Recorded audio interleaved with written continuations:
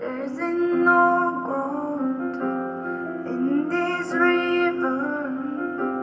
I've been washing my hands in forever.